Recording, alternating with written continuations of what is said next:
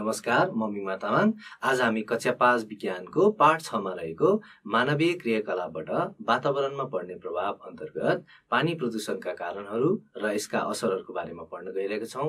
आउनुहोस् हामी हाम्रो कक्षा सुरु गरौँ। भाइ बहिनीहरूलाई स्वागत छ। आज हामी पाठ छ अन्तर्गत मानवीय क्रियाकलापबाट वातावरणमा पर्ने प्रभावमा छौँ र यस अन्तर्गत हामी पानी र पानी प्रदूषण भनेको के हो पानीको महत्त्व के हो र पानी प्रदूषण भनेको के हो त्यसको बारेमा जान्नेछौँ त्यसै गरेर पानी प्रदूषणका कारणहरू के के हुन् त्यसको बारेमा जान्नेछौँ र पानी प्रदूषणका असरहरू के के रहेका छन् त त्यसको बारेमा जान्नेछौँ आउनुहोस् आज हामी पानी प्रदूषणबाट आजको कक्षा सुरु गर्छौँ। पानीको महत्त्व र पानी प्रदूषण अन्तर्गत हामीले पानीको महत्त्व के के रहेको छ र पानी प्रदूषण भनेको के हो त्यसको बारेमा जानकारी लियौँ। पृथ्वीमा हाम्रो तिन चौथाइ भाग चाहिँ पानीले ओगटेको छ।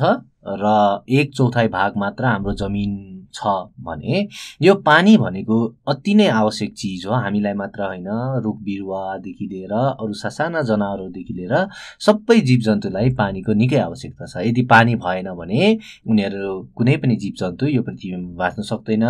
हाम्रो मानव शरीरमा हेर्ने हो भने हाम्रो सत्तरी प्रतिशत भाग हाम्रो शरीरको भाग पनि पानीले ढाकिएको छ।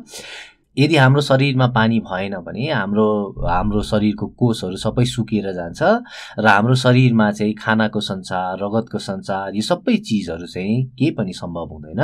त्यसैले हाम्रो शरीरमा पनि सत्तरी प्रतिशत भाग चाहिँ पानी हुन्छ र पानीको महत्त्व धेरै नै रहेको छ। यो भएन भने हामी मरेर जान्छौँ। है सबै जीवलाई चाहिँ पानीको आवश्यकता धेरै नै छ। र यो पानीलाई हामीले धेरै कार्यको लागि प्रयोग गर्छौँ। हाम्रो शरीरले त प्रयोग गर्ने नै भयो। त्यो अतिरिक्त पनि हामीले पानी पिउन नुहाउन लुगा धुन खानाहरू पकाउन यो सबै चिजको लागि हामी पानीको प्रयोग गर्ने गर्छौँ।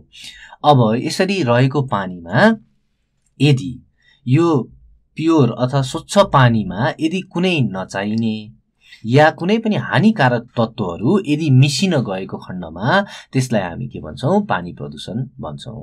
त्यसैले हाम्रो पानीमा सफा पानीमा कुनै पनि नचाहिने या हानिकारक तत्त्वहरू मिसेको खण्डलाई नै हामी त्यसलाई के भन्छौँ प्रदूषित पानी भनेर भन्ने गर्छौँ। अब हामी पानी प्रदूषणका कारणहरूको बारेमा जानौँ। नम्बर एकमा रहेको छ पानीका स्रोतहरूमा फोहोर मैला सिधै फ्याँक्ने दिसा पिसाब गर्ने होइन? यो बानीले जस्तो मानिसहरूले चाहिँ दिसा पिसाब गर्नको लागि खोलाको किनारहरू अथवा खोलाको छेउमा गएर गर्ने फोहोर मैलाहरू सिधै लगेर चाहिँ खोलामा फालिदिने होइन? त्यसको कारणले गर्दाखेरि चाहिँ पानी प्रदूषण हुने गर्छ।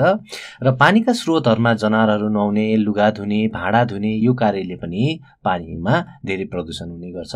र ढलहरूको उचित व्यवस्थापन नभइकन ढललाई सिधै पानीको स्रोतहरूमा मिसाउनाले पनि पानीको प्रदूषणहरू हुने गर्छ।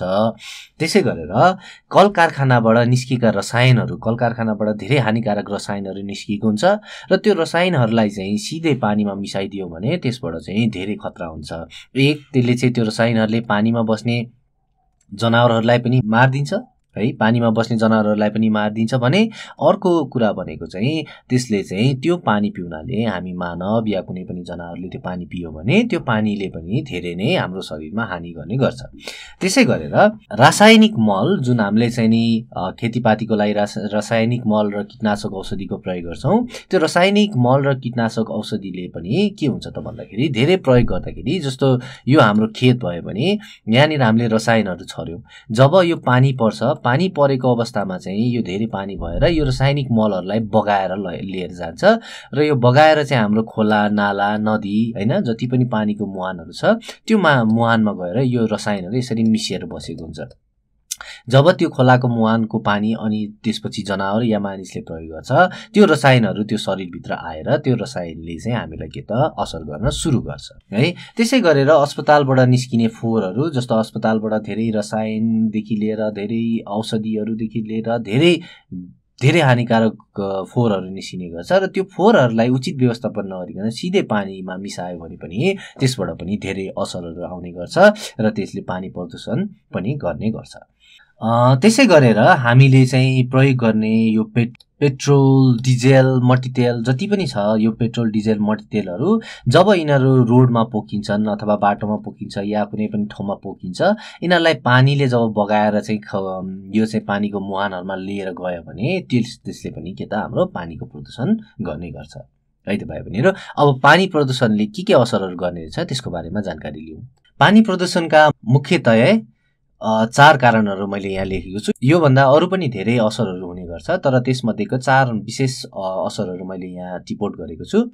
नम्बर एकमा रहेको छ हैजा आउँ टाइफाइड इत्यादि जस्ता रोगहरू लाग्ने। किनभने पानीमा चाहिँ जीवाणुहरू त्यस्तै खालको यो रोग लगाउने जीवाणुहरू रहेको हुन्छ जहाँनिर चाहिँ हामीले बढी पानी प्रदूषण गरेको हुन्छ। त्यसमा त्यो जीवाणुहरू रहेको हुन्छ र त्यो जीवाणुले चाहिँ हैजा आउँ टाइफाइड जस्ता रोगहरू लगाउने र यो रोग लगाएपछि यदि कुनै पनि गाउँठाउँ या कुनै पनि ठाउँको वरिपरिको चाहिँ पानीको स्रोतहरू सबै प्रदूषित भएका छन् भने त्यो प्रदूषित भएको ठाउँबाट महामारी पनि फैलिन सक्छ। सक्छ त्यसैले यो रोगहरू चाहिँ सामान्यतया देखि नै जान्छ। त्यस्तै गरेर रसायनयुक्त पानीबाट क्यान्सरको सम्भावना हुन्छ। हाम्रो चाहिँ भित्र रहेको जब हामीले त्यस्तो रसायनयुक्त पानीहरू पिउँछौँ हस्पिटल या कारखानाबाट आएका फोहोर पानीहरू रसायन मिसाइएका पानीहरू पिउँछौँ भने त्यो पानीबाट भित्र एक त हाम्रो जुन चाहिँ हाम्रो भित्र रहेको चाहिँ शरीरका अङ्ग अर्ग्यान्सहरू छ जस्तै अर्ग्यान्सहरू भन्नाले कस्तो अर्ग्यान्सहरू भनेको जस्तो हाम्रो मुटु फोक्सो कलेजो होइन?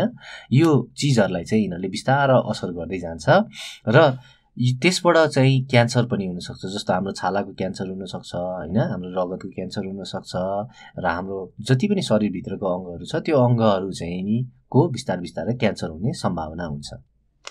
त्यसै गरेर पानीमा पाइने वनस्पति तथा जन्तु जनावरहरूमा चाहिँ धेरै असर पर्ने गर्छ।